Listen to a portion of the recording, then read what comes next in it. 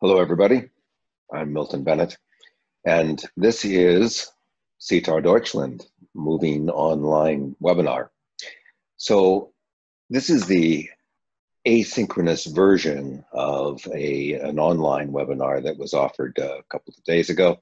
Uh, but the sound quality was not very good, and so we decided to make this uh, asynchronous version, which is essentially the same presentation, although we have the advantage now of being able to add uh, questions that came in uh, on the chat or uh, subsequently an email, which I will address at the end of the presentation. So uh, this is the same presentation that uh, was originally uh, presented in the, in the webinar, plus some response to questions that occurred on email and later. So the topic is paradigms, pandemics, and power. Besides being alliterative, the point of that is to try to address the issue of this uh, chaotic uh, uh, upsetness in our uh, in our society uh, that is related to the pandemic. Uh, the way in which that illustrates some um, some uses of power, and to put that all into the context of the of, of paradigms, I, I believe as many of you know from my work over the last few years, that we are in the midst of a paradigm change and that part of what's going on uh, in the uh, uh, sometimes chaotic uh, social conditions that we're experiencing are the effects of this uh, paradigm change as people both try to protect the, uh, the, the trailing paradigm and also try to move aggressively into the new paradigm. I'd like to make some comments about how that relates to the issue of power, how that in turn is related to the way that we're treating the, parad- uh, the, uh, the uh, pandemic, and uh, in general, what the relationship is between our intercultural work and, polit- and the political condition in the world today.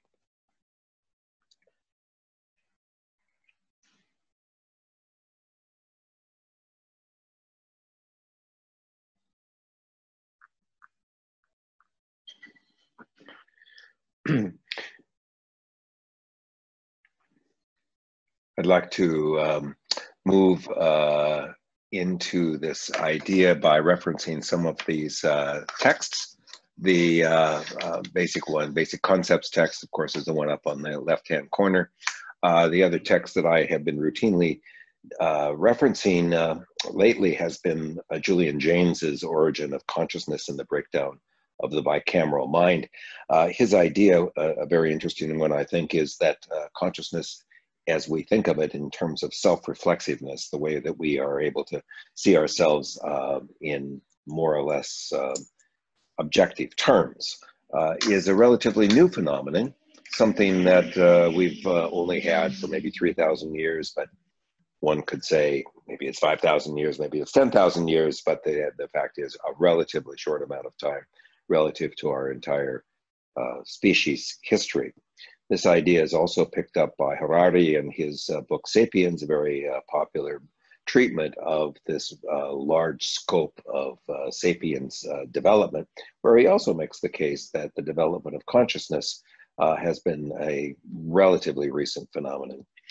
And finally, uh, The Invented Reality, which is the piece by Paul Watzlawick, one of his last and I think one of his best collections of, of thinking, uh, in which he shows the relationship between uh, his long term work with systems theory and the move into a more uh, constructed reality. I would say a move from relativism to constructivism. Uh, and he, I think, is a, a wonderful reference for us uh, in the communication field, along with uh, Gregory Bateson. Some other articles that may be of interest to you uh, that relate to this topic, uh, the value of cultural diversity, rhetoric, and reality, um, pretty much uh, moves through some of these paradigm arguments that I'm making. A constructivist epistemology of hate, this next one is one where I try to pick up this idea of, of hatred and hate groups. And what does this mean? Uh, in uh, in terms of, of looking at looking at this in, in paradigmatic terms. And finally, the article that uh, I've co-authored with uh, Castiglioni on building capacity for intercultural citizenship is an attempt to apply these ideas uh, to uh, current notions of citizenship and socio-political context. So th those are all available along with other pieces on the idrinstitute.org website. The definition of paradigm that I'm using is from Thomas Kuhn, Structure of Scientific Revolution. Uh, some people say it's the most uh, referenced book in the Western world next to the Bible. Uh, I wouldn't be surprised. In any case, paradigm refers to the epistemological worldview that assigns and limits acceptability of theories, concepts, models, and methods of inquiry. What that means is that a paradigm is much more than just an idea lots of times people talk about we need a new paradigm or this is new paradigm thinking. Uh, but in many cases, that just means it's a new idea. What a paradigm does in Kuhn's terms is organize our very thinking about the nature of reality. It's, so it's at a very deep epistemological level that the paradigm then facilitates our thinking about things in certain ways and makes it difficult for us to think about things in other ways. And these paradigms um, have largely moved through the traditional ones, uh, which assumedly are the way that we thought about things before we had very good documentation or even this idea of paradigm. Alter Enlightenment paradigms, which are some of the earlier developments of paradigm as we moved uh, into this kind of this new consciousness um, that uh, the the Western Enlightenment uh, uh, paradigms came, of course, later than paradigms that uh, that previously were generated in uh, an uh, an Asian context or in Islamic contexts, in which uh, other ways of incorporating consciousness uh, into the way that we understood reality were being expressed. We don't really have time to go into that in this short presentation, but it is an interesting way of looking at uh, non-Western approaches to this idea of knowledge paradigm. I'll stick with the Newtonian uh, or universalist paradigm uh, coming out of the uh, Western uh, Enlightenment tradition, which I call the sirens of certainty, as we thought that we, we could discover uh, absolute reality. The Einsteinian uh, paradigm, which supplanted that in physics and which made it clear that we could only know things from the context in which we were operating. And that as that moves into social science, it becomes what I call a whatever paradigm. But uh, I'll say some more about that. And finally, the quantum or constructivist paradigm, which is the one that takes into account the relationship of the observer to that which is being observed in such a way as to um, generate the idea of intention and the effect of intention in the way that we interact uh, with reality. Beginning with the traditional paradigm, let me treat the idea of observer, the idea then of the relationship of causality. What does that mean to the way we think things happen and why they happen? And then to the idea of power, which is essentially being able to make things happen or influence things in some way uh, or another. The traditional paradigm, according to Kuhn and Harari and others, uh, is likely to have been one in which there was no obvious observer. It is likely to be the case that people who were operating in these paradigms did not see themselves as being observers of the world, but rather they were simply participants in the world, much as other organisms uh, do their thing, whatever it is in the world, but don't, don't necessarily think about it, as far as we know. Uh, similarly, human beings are capable of doing their thing in the world without thinking about it. We still see some modern examples of that. Uh, but assumedly there was a time when this was uh, more typical and more widespread in our species this idea that we were just mammals engaging in our mammalian behavior but not necessarily reflecting on that. If we were in that condition then thinking about things would be simply a recognition of something happening an awareness perhaps of that but the but not the inability to to attribute causality to that. So things simply happen perhaps because there were some kind of unknowable forces. And eventually, of course, we had the idea that these things were uh, functions of, un, of, of, supernatural forces that were generating um, the conditions uh, for one reason or another uh, for uh, events to occur. The Old Testament, for instance, of the Bible, which is clearly referring back to uh, pre-documented times, uh, is is filled with these ideas that the pandemics and other kinds of plagues were visited upon people, uh, generally dictated by God for uh, some reason, uh, unclear to uh, to mere mortals. Power in this case is making things happen uh, because they are vested in supernatural forces. What we've seen happen in our history, in our species history, relatively recently, are uh, kings and shamans and others who attempt to uh, connect themselves to those supernatural forces and thus to uh, acquire the power of the supernatural force. And it's been quite recently, as you know, that uh, that kings have been uh, uh, and queens have been uh, claiming divine right, and uh, perhaps we're seeing a certain nostalgic return to leaders wishing that they could tap into those supernatural forces, or at least be given credit for those supernatural forces, and that would be what it is that gives them credibility or rationalizes uh, their power, so to speak. The uh, idea as expressed by Jaynes of this notion, uh, which some, some of you have seen before, but I let me just briefly review this, is his idea that initially we were not able to observe ourselves. And in so doing, we heard voices. We heard the voices of the gods that essentially were telling us what to do. Whether they was actually coming in auditory hallucination or not is not really the important point. The important point is that we were acting without the idea of agency, of our own agency. Then he suggests uh, that when we came into contact with other groups, the voices of the gods would tell us that we needed to smite them, smite them all, kill them all, and that we were treating other groups of, of, of people uh, as we would any other threat in the environment, which is to uh, destroy them as quickly as possible. This worked okay until there were lots of groups of people.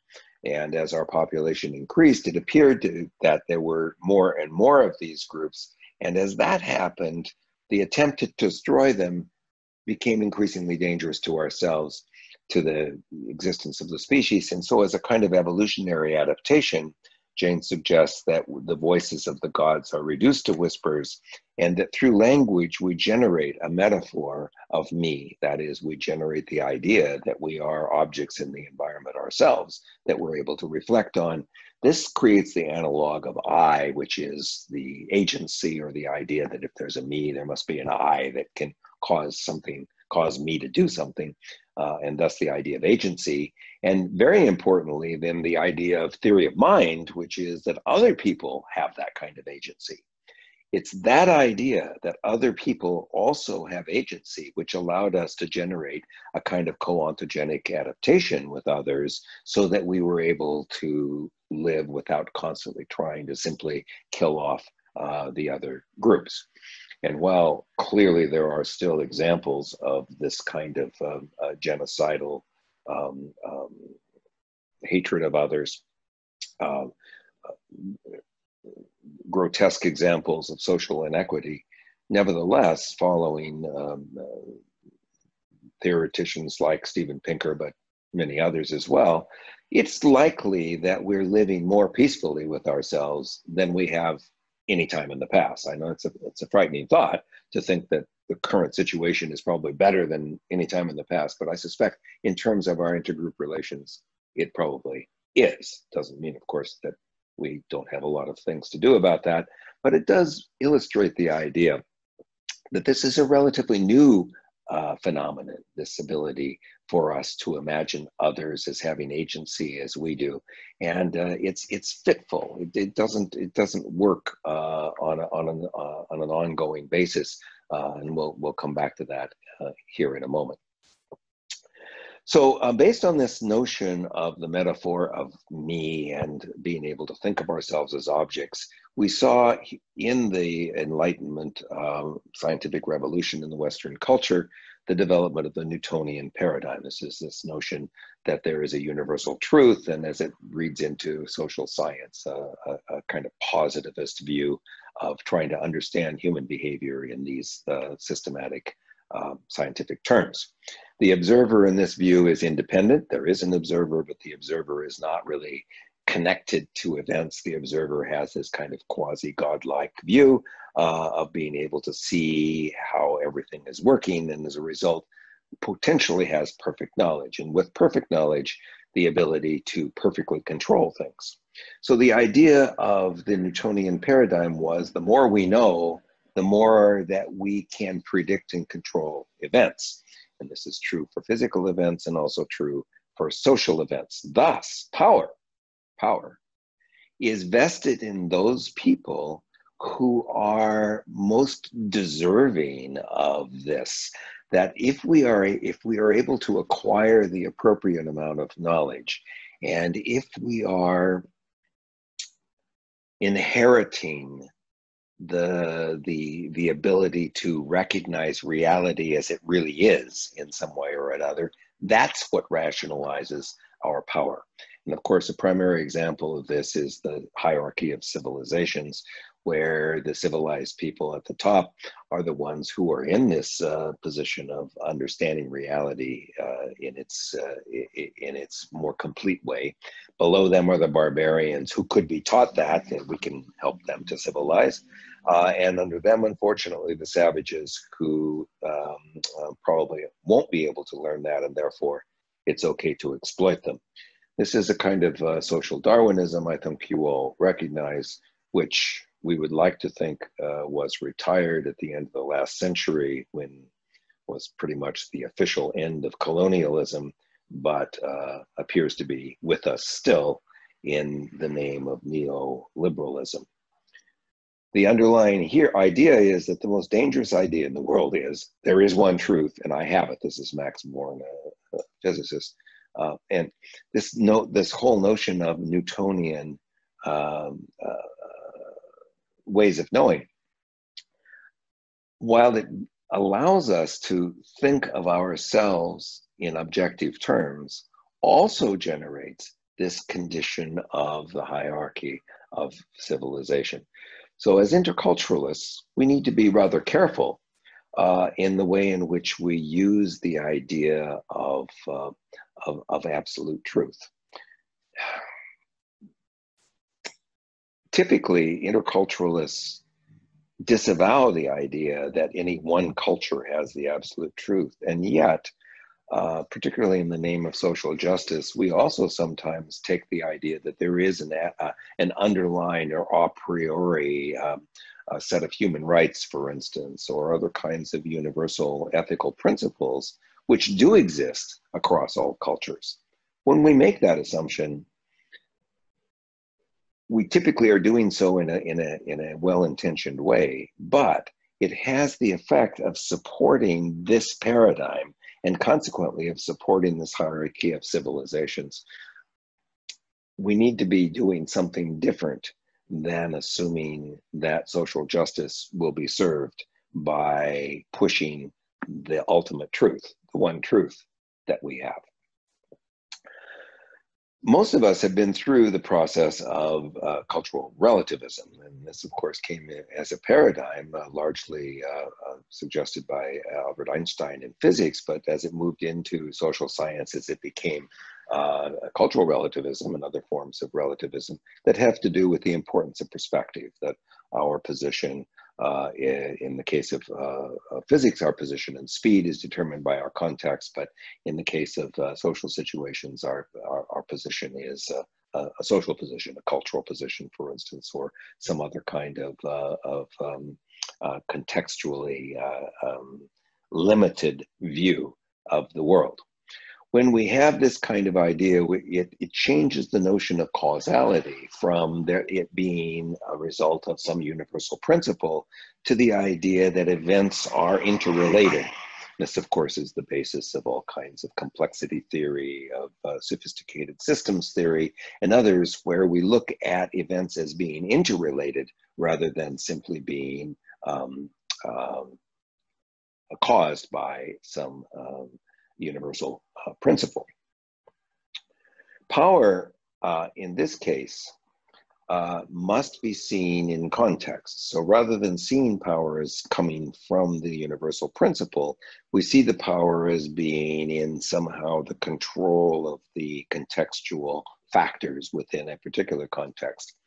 Cultural relativism has been pretty clear, cultural relativity as the, as the anthropologists would have it, uh, has been very clear in saying that it's inappropriate for power in one context to be exercised across context into the other context. This is the basis of imperialism, colonialism, and pretty much the racism, sexism, and other kinds of uh, inequities of, of uh, social, social injustice that represent the imposition of the power of one group on another. As a principle, that's pretty good, but when we look at what's happening in the paradigm itself, what we're seeing is a shift from the hierarchy of civilization to this idea of independent uh, context floating around. The good thing about those independent contexts is that we can say it's not bad or good, it's just different. The unfortunate thing is that there's no good mechanism for those people to relate to one another. Um, people in culture A, for instance, might say, B, you can't understand us because you didn't grow up in A, you're not an A, you're a B.